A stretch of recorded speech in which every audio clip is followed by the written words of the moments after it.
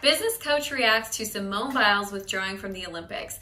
Recently, Simone Biles pulled out of the Olympics, walked off of the floor, and everybody has been talking about it since. I'm Amy Walker. I'm a small business strategist, and I have helped hundreds of entrepreneurs be able to grow their business to six figures and beyond. And I'm going to tell you, I felt like there are a ton of lessons for business owners in this whole story that we've been watching play out. I had a pretty emotional response when I first heard the news and uh, when I watched her press conference. And so we're going to watch that together today. And I'm going to share with you what I think are the lessons that we should be learning as business owners.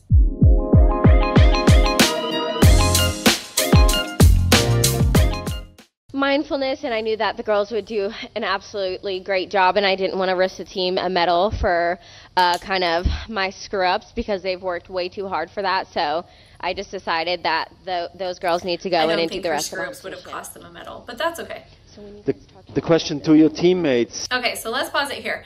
So she talks about needing mindfulness. She talks about that um, her screw ups would have cost them a medal. I don't actually think that's true. However it is probably true that um, she was feeling like she was going to block the progress. And I think that's really relatable. A lot of business owners, when we're not at our best, but we try to still stay in that position of being in control, in charge, in the lead, uh, we do block the progress of our team. Now, I find this interesting how her teammates react to the experience. Action was it a shock when you realized that your teammate could not continue the competition? It was definitely something that was unexpected. Um, we were kind of emotional when we found out that she wasn't going to continue, and you know, we all just had to put our minds in a great po- position because at the end of the day, we were just out there to show what we needed to show, and we put our we went up and did what we did, and I'm just very proud that we were able to do that. So, you know, they admit that they had an emotional response. I imagine they were like freaking out. I mean, this is the person that they were banking on. Like she was a part of the plan. We put together a plan or a team or, you know, in business, like every single person has their role to play. And when one person just stops out, it throws off the whole flow and the whole order of how everything goes. So I think them saying that they were emotional is probably a little bit downplaying.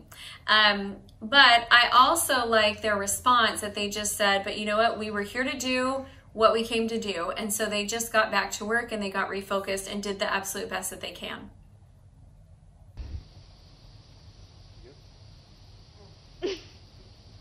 Um, yeah, there was definitely a lot of emotions going through all of our heads, but I'm really proud that we were able to step up to the plate and do what we needed to do. It's very hard to lose a teammate, especially at the Olympic Games, so I was really proud of all of us because we were going through so much. We were very stressed, put a lot of pressure on ourselves, but we ended up coming back. Yeah, so when one person, when you have a team dynamic and one person opts out, it does create a ton of stress and a ton of pressure on everyone else. So let's talk about this. How, as you saw the videos and you watched the story played out, how did you feel? My first initial response was I felt like this heart clench. And I pictured myself being in her shoes, and I do not know that I would have had the strength and the fortitude to do what she did because I would have felt like I had to continue for the team.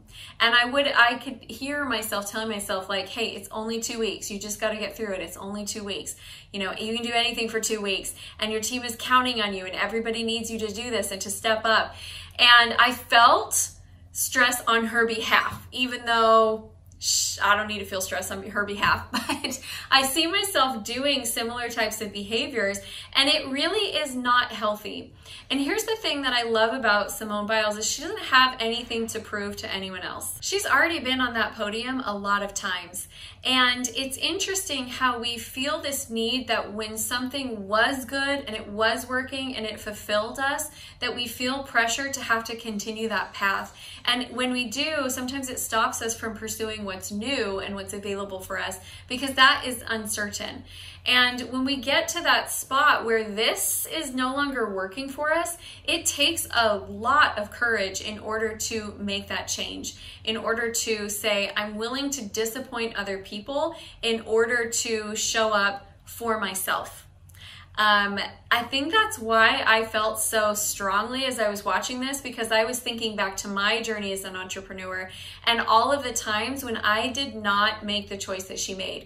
Um, I put my mental health and my well being last and I put the client's needs and the team members' needs and the demands of people at church and the demands of, you know, all my kids' extracurriculars and all that stuff. I put that front. And uh, I found myself feeling really burnt out. Uh, I remember having a year where I just felt constant anxiety. And I'd never had that before, but I would look around and I would be like, there's literally nothing for me to be feeling anxious about, but my, ch- my, my chest is tight, my heart is racing, and I can't seem to get myself together. Well, I just want to tell you that was not good for my business. It's not like, you know, us making that sacrifice to just push through is actually helpful for our business or for anyone around us. So, in the short term, do we take a hit? Yeah, yeah, absolutely. In the short term, when you stand up for yourself and you say, I got to take a day, or I got to pull out of this project, or I have to say no to this opportunity, in the short term, you take a hit. But in the long run, you're creating a sustainable place of success. Simone's going to go on to do great things wherever she decides to go next, and she doesn't have anything to prove to anyone.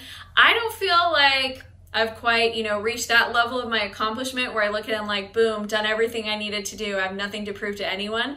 But I do have stuff to prove to myself. But one of the most important things that I want to prove to myself and that I would encourage you all to prove to yourselves is that we are willing to treat ourselves like a high performance athlete and rest when we need rest and pull back when that's what's best for us over the long haul because I don't know what would have happened. You know, would she have gotten injured? Could she have uh, just made the team perform worse? Would they have? Would, could she have pushed past it and they would have been great? None of us know, right? She doesn't even know.